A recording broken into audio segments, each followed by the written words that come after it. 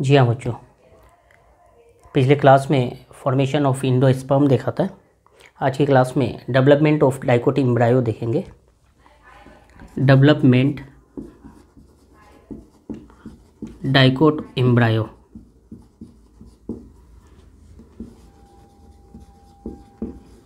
dicot embryo का development किस तरह से होता है? अलग अलग शेप में एम्ब्रायो कन्वर्ट होता है।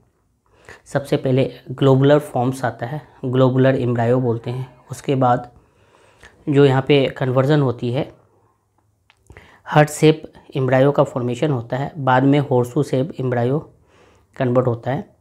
तो डेवलपमेंट ऑफ़ डाइकोट एम्ब्रायो में हम लोग स्टार्ट करेंगे जाइगोड से। जाइगोड में किस तरह से माइटोटिक डिवीज़न होती है? दो सेल का फॉर्मेशन होता है, एक टर्मिनल और एक बसल सेल्स ये जो टर्मिनल सेल्स होते हैं, चलाजा के तरफ़ होते हैं। चलाजल इंड के तरफ़ और जो बसल सेल्स का फॉर्मेशन होता है माइक्रोपाइलर इंड के तरफ़ होता है। जब हम एनाट्रोपस ओव्यूल्स को देखेंगे तो ये ओव्यूल्स होंगे हमारे। ये हमारा इंटेगुमेंट होगा। तो ये जो ओव्यूल्स में जो जाइगोट होंगे, ये फर्दर डिवाइड करेंगे माइटोटिक डिवीज़न होगा। तो यहाँ पे जो नीचे की तरफ़ माइक्रोपाइलर इंड की तरफ़ जो सेल्स होंगे, इसको हम लोग बोलेंगे बेसल सेल्स बसल सेल्स और जो ऊपर की तरफ़ होंगे, वो टर्मिनल सेल्स होंगे। पसल सेल्स और टर्मिनल सेल्स का कन्वर्जन होगा अलग अलग सेप इम्ब्रायो का फॉर्मेशन होगा। तो ये हमारा जाइगोट क्या करेगा? फर्दर डिवीज़न करके अलग अलग स्ट्रक्चर बनाएँगे। ये जाइगोट में ही डिवीज़न होगा। जाइगोट हमारा किस तरह का स्ट्रक्चर है? डिप्लॉइड स्ट्रक्चर है। क्या स्ट्रक्चर है? डिप्लॉइड स्ट्रक्चर है। तो आज के क्लास में हम लोग इम्पोर्टेंट कंसेप्ट को देखेंगे। Development of dicot embryo okay यहाँ पे जैसे हम लोग जाइगोट को देखें, ये जाइगोट सेल्स है। जाइगोट जो होता है डिप्लॉइड फॉर्म्स में है। ये माइटोटिक डिवीज़न करेगा। कैसा डिवीज़न माइटोसिस करेगा। माइटोसिस या फिर माइटोटिक डिवीज़न बोलते हैं। और इस तरह से दो सेल का फॉर्मेशन करेगा। माइटोटिक डिवीज़न होगी, एक से दो सेल बनेंगे। ऊपर चलाजा फॉर्म्स होंगे, चलाजा साइड में और नीचे की तरफ़ माइक्रोपाइलर एंड होंगे। अभी हम लोगों ने ये स्ट्रक्चर देखा। तो यहाँ पे जो दो सेल्स बनेंगे, एक ऊपर की तरफ़ होगा, जिसको हम लोग बोलेंगे टर्मिनल सेल्स क्या बोलेंगे? टर्मिनल सेल्स और इस तरह से नीचे की तरफ़ बेस फॉर्म में होंगे बेसल सेल्स बाद में टर्मिनल सेल्स प्रो इम्ब्रायो का फॉर्मेशन करेगा। ये टर्मिनल सेल्स किसका फॉर्मेशन करेगा? प्रो इम्ब्रायो का। और ये जो बेसल सेल्स है, ये ट्रांसपर्स डिवीज़न करेंगे और सस्पेंसर सेल का फॉर्मेशन करेगा। Basal cells undergo undergoes transverse division कैसा होगा? Undergoes many transverse division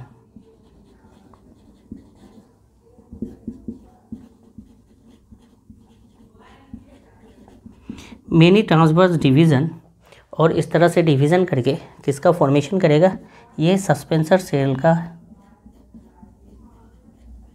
suspensor cell का फॉर्मेशन करेगा। इस तरह से सस्पेंसर सेल का फॉर्मेशन होगा।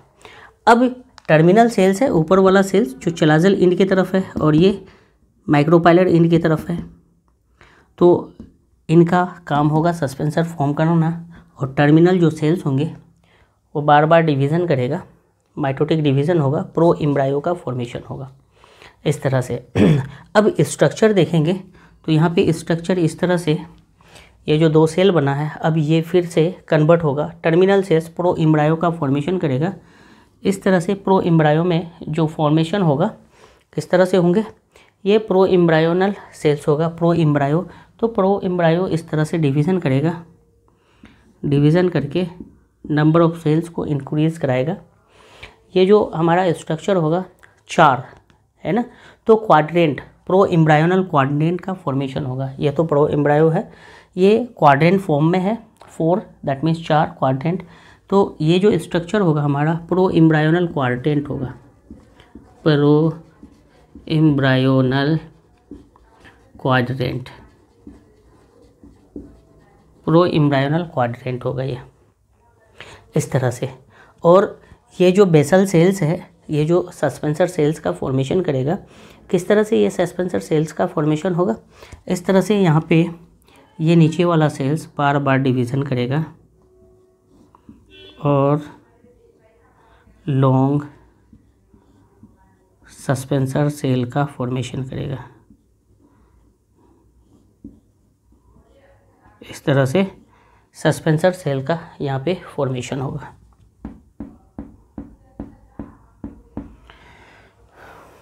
है ना? ये सस्पेंसर सेल होंगे और जो सस्पेंसर सेल का लास्ट वाला सेल्स होगा, इसको हम लोग जो है हस्टोरियल सेल्स बोलेंगे। ये हॉस्टोरियल सेल्स का फॉर्मेशन करेगा।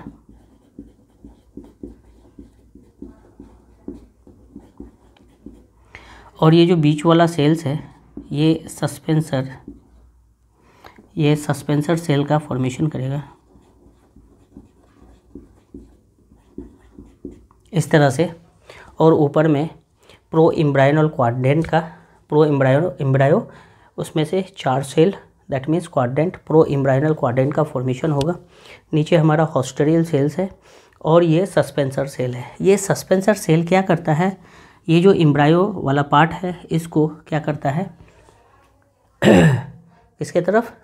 इंडोस्पॉम की तरफ़ पुश करता है। न्यूट्रिटिव टिश्यू की तरफ़ पुश करता है। ये चलाजा की तरफ़ है ये माइक्रोपैलेट की तरफ़ है।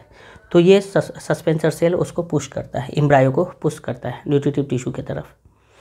अब यहाँ पे जो प्रो इम्ब्रायोनल स्ट्रक्चर देख रहे हैं यहाँ पे और एक चेंजेस होंगे। है ना? क्या चेंजेस होंगे? ये जो प्रो इम्ब्रायोनल वाला पार्ट है ये फिर से पेरिक्लाइनल डिवीज़न करेगा प्रो इम्ब्राइनल ऑक्टेन का फॉर्मेशन करेगा, चार से आठ बन जाएँगे।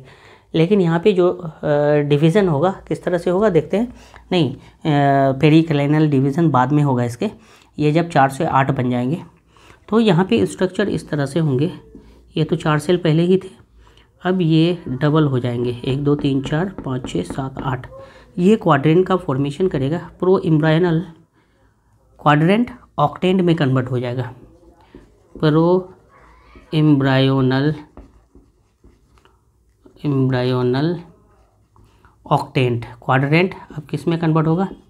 ऑक्टेंट में कन्वर्ट हो गया। इस तरह से। और ये जो सस्पेंसर सेल है सस्पेंसर सेल का सबसे ऊपर वाला स्ट्रक्चर जो प्रो एम्ब्रायनल क्वाड्रेंट के साथ है, वो थोड़ा स्ट्रक्चर में लार्ज साइज़ का होता है हाइपोसाइसिस हाइपोथाइसिस सेल का फॉर्मेशन कर लेता है। इस तरह से हाइपोफाइसिस का फॉर्मेशन कर लेता है और बाकी वाला सस्पेंसर सेल इस तरह से रहता ही है।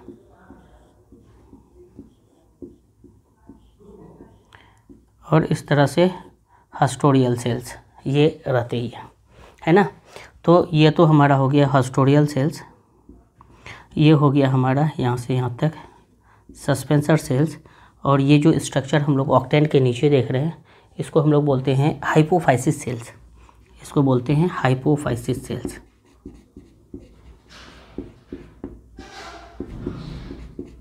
हाइपोफाइसिस सेल्स बोलते हैं इस तरह से। है ना? Hypophysis, suspensor cells and then haustorial cells. ये स्ट्रक्चर होती है। अब यहाँ पे प्रो एम्ब्रायनल ये फोर, चार, फोर, एट में कन्वर्ट हो गया। अब एट में जो डिवीज़न होगी, इस तरह से पेरिक्लिनल डिवीज़न होगी। तो यहाँ पे पेरिक्लिनल डिवीज़न होगा। और इस तरह से ये जो आउटर सेल्स होंगे, देखते हैं, जो स्किन डर्म डर्मिस का फॉर्मेशन करेगा। कौन सा डिवीज़न होगी? पेरिक्लिनल डिवीज़न होगा। कैसे? इस तरह से मैं स्ट्रक्चर को यहाँ पे मेंशन करता हूँ। पेरिक्लिनल डिवीज़न होगा। और इस तरह से ये जो हमारा ऑक्टेन फॉर्म है, ये अब डबल हो जाएँगे। इस तरह से एक, दो, तीन, चार, पाँच, छः, सात, आठ, नौ, दस, ग्यारह, बारह, तेरह, चौदह, पंद्रह, सोलह। तो इस तरह से पेरिक्लिनल डिवीज़न होगा। अब यहाँ पे सेक्शन बनेगा, है ना? ये जो आउटर सेल्स है, ये एक्चुअली क्या बना देगा? डर्मेटोजेन बना देगा। आउटर सेल्स क्या बना देगा? डर्मेटोजेन, जिसको एपीडर्मिस बोलते हैं। यहाँ पे जो आउटर सेल्स होंगे, क्या बना देंगे? एपीडर्मिस। बाहरी सेल्स को क्या बोलते हैं? ये जो प्रो इम्ब्रायो है ना, इसी में डिवीज़न हो गया पेरी क्लिनल डिवीज़न कैसा डिवीज़न होगा? पेरी क्लिनल डिवीज़न यहीं पे हम लोग लिख देते हैं डिवीज़न कैसा होता है? पेरिक्लाइनल डिवीज़न इस तरह से यहीं पे मैंने लिख दिया। डिवीज़न कैसा होगा? पेरिक्लाइनल और ये जो आउटर सेल्स होंगे ये outer cells dermatogen that means epidermis का फॉर्मेशन करेगा। ये किसका फॉर्मेशन करेगा? डर्मेटोजेन और बाद में यही जाके एपीडर्मिस डर्मेटोजेन एपीडर्मिस का फॉर्मेशन करेगा। इस तरह से एपीडर्मिस का यहाँ पे फॉर्मेशन करेगा। तो ये आउटर वाला सेल्स अब यहाँ पे ध्यान देंगे, ये जो स्ट्रक्चर हम लोग देख रहे हैं इसके बाद यहाँ पे किस तरह से सेल्स स्ट्रक्चर में चेंजेस लाएँगे? तो ये जो हमारा पेरिक्लिनल डिवीज़न हुआ प्रो इम्ब्रायनल ऑक्टेंट में स्ट्रक्चर हमारा ये बना। इस तरह से ये हमारे जो नीचे के सेल्स हैं, हाइपोफाइसिस सेल्स, ये हाइपोफाइसिस सेल्स में डिवीज़न होगी और इस तरह से माइटोटिक डिवीज़न करके एट सेल का फॉर्मेशन करेगा, चार ऊपर चार नीचे। किस तरह से ये जो हाइपोफाइसिस सेल्स हैं एक, दो, तीन, चार और इस तरह से डिवीज़न होगी तो आठ हो जाएँगे। चार ऊपर और चार नीचे। इसके नीचे ये ये हमारा हाइपोफाइसिस सेल्स डिवीज़न करके एट सेल का फॉर्मेशन करता है। और फिर इसके नीचे इस तरह से यहाँ पे जो सस्पेंसर सेल है, वो सेल होंगे ही। मैं छोटा छोटा साइज़ दिखा देता हूँ। ये सस्पेंसर सेल्स होंगे और इसके नीचे इस तरह से हमारा कौन सा सेल्स है? हॉस्टोरियल सेल्स है। तो ये हॉस्टोरियल सेल्स को मैं थोड़ा सा बड़ा करके दिखाता हूँ। ये स्ट्रक्चर हमारा होगा। ये हमारा क्या है? ये हाइपोफाइसिस सेल्स होंगे। ये हमारा सस्पेंसर सेल्स है।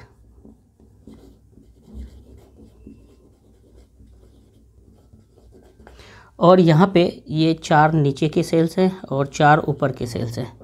है ना?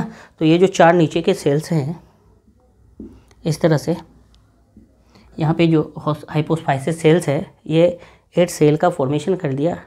फोर लोअर सेल्स और फोर अपर सेल्स ये जो फोर लोअर सेल्स है, ये हमारा फॉर्मेशन करेगा कि क्या क्या फॉर्म करेंगे। रूट कैप और रूट टिप का यहाँ पे फॉर्मेशन होगा। रूट कैप और रूट टिप यहाँ पे बनेंगे। ये लोअर फोर सेल्स है। लोअर फोर सेल्स हमारा रूट कैप और रूट टिप का फॉर्मेशन करेगा। और ये जो अपर फोर सेल्स है, जो हॉस्टो हाइपोफाइसिस सेल्स इस तरह से डिवीज़न करके बनाए हैं, वो हमारा किसका फॉर्मेशन करेगा? रूट कोटेक्स का फॉर्मेशन करेगा। ये हमारा क्या करेगा? रूट कोटेक्स का।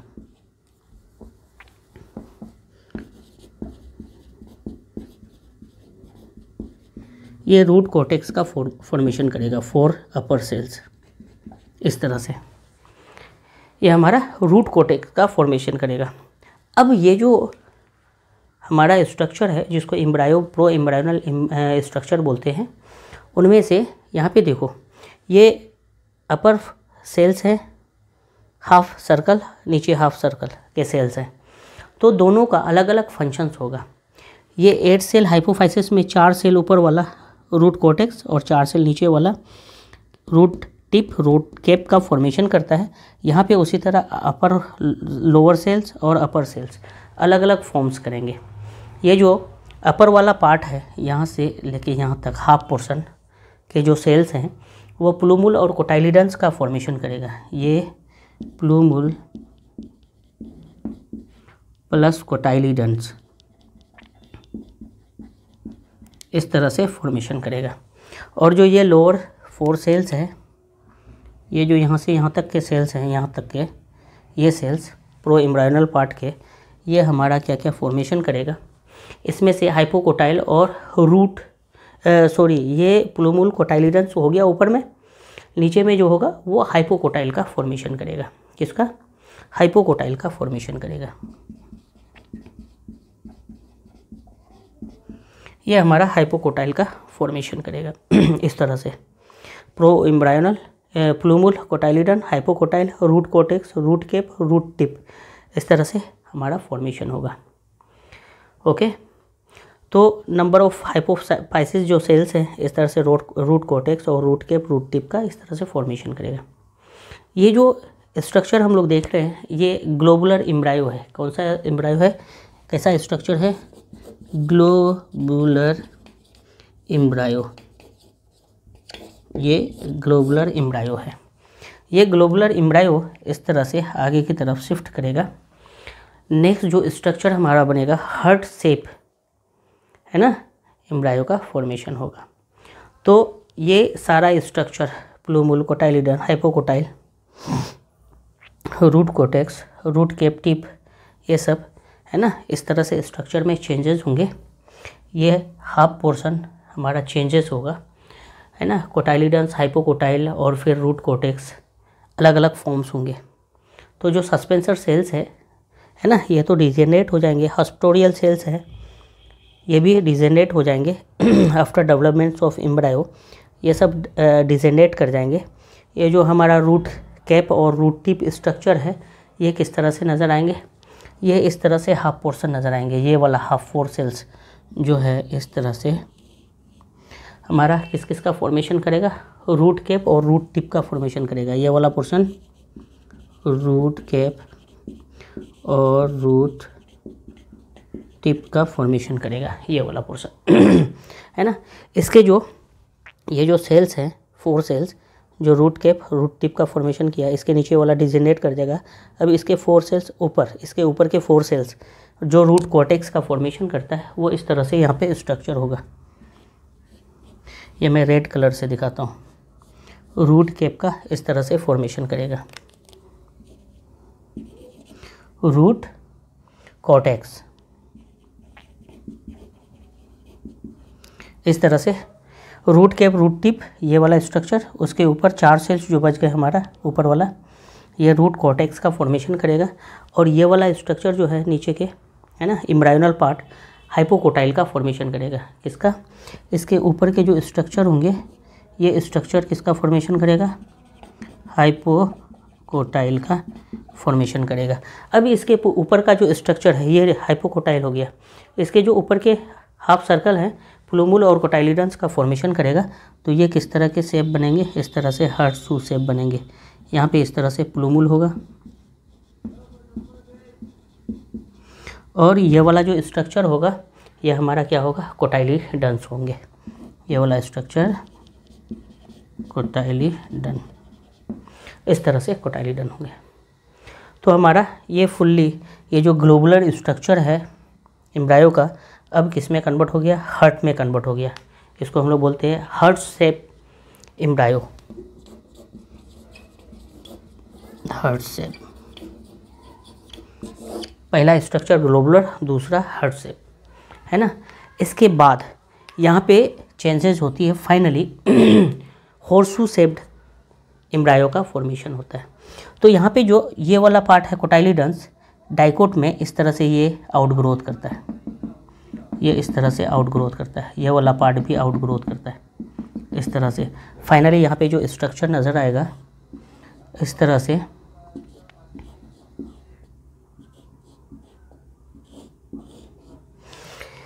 ये इस तरह से ग्रो करके, ये इस तरह से ग्रो करके कोटाइलिडेंस का फॉर्मेशन करता है। ये बेंड हो जाता है। ये जो कोटाइलिडेंस प्लूमुल प्लूमुल है, ये प्लूमुल यहाँ पे तो है ही। ये प्लूमुल तो स्ट्रक्चर यहाँ पे नज़र आएगा ही। ये प्लूमुल, ये जो है बैंड हो जाता है।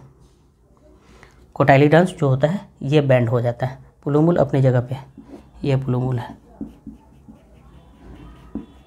ये बैंड होके ये कोटाइलिडेंस है। इस तरह से ये हमारा कोटाइलिडेंस इधर बैंड हो गया। ये हमारा स्ट्रक्चर है जो हाइपोकोटाइल का फॉर्मेशन करता है। ये कौन सा स्ट्रक्चर फॉर्म करेगा? हाइपोकोटाइल का। और ये वाला जो स्ट्रक्चर है, वो किसका फॉर्मेशन करेगा? नीचे बीच वाला। ये सारे स्ट्रक्चर यहाँ पे रूट कोटेक्स है। है ना? रूट कोटेक्स रूट कोटेक्स और नीचे वाले, ये दो स्ट्रक्चर को बनाएँगे। रूट कैप रूट कैप और रूट टिप का फॉर्मेशन करेगा। इस तरह से ये जो स्ट्रक्चर हमारा होगा, ये कौन सा स्ट्रक्चर होगा? ये हमारा स्ट्रक्चर होंगे, है ना? हॉर्स शू सेप्ड इम्ब्रायो कैसा होगा?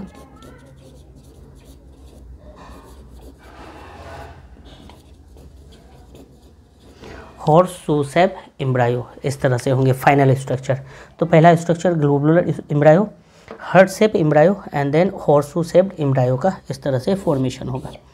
ये फाइनल स्ट्रक्चर है।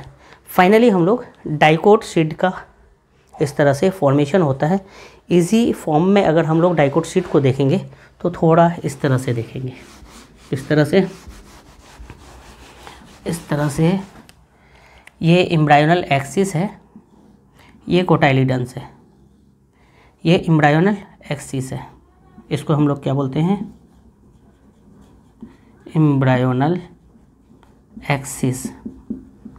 और ये जो दोनों तरफ़ दिख रहा है ना, ये कोटाइलिडन्स है। डाइकोट है, दो कोटाइलिडन्स ये कोटाइलिडन्स है। अच्छा ये जो इम्ब्राइनल एक्सिस है, मिड पॉइंट जहाँ से कोटाइलिडन्स अटैच है, इसको बोला जाता है कोटाइलिडनरी नोड।